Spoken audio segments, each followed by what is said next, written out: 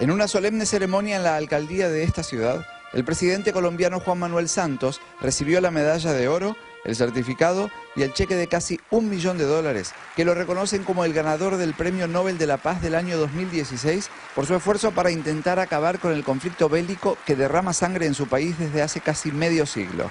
En su discurso, interrumpido por los aplausos del público en varias oportunidades, reconoció que este premio le dio un impulso vital al proceso de paz justo cuando la mayoría del pueblo en plebiscito votó por un inesperado no.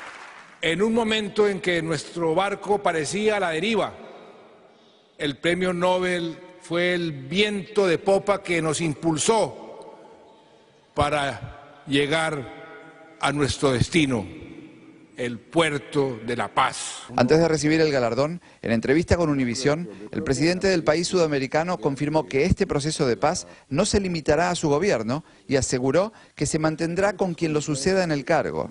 Usted será presidente hasta el 2018. ¿Cómo puede garantizar que su sucesor pueda seguir adelante con la sostenibilidad de estos acuerdos? Cuando la gente vea que sí es posible y que los beneficios se están comenzando a ver, es un proceso totalmente irreversible.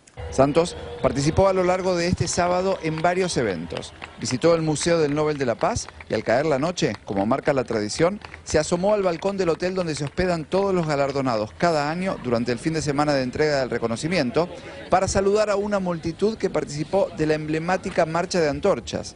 Santos, acompañado por su esposa e hijos, agradeció el saludo emocionado. Y este intenso fin de semana plagado de actividades para homenajear al flamante premio Nobel culminará mañana domingo con un concierto en honor del presidente Juan Manuel Santos, en el cual participará el cantante colombiano Juanes y el británico Sting, entre otros artistas.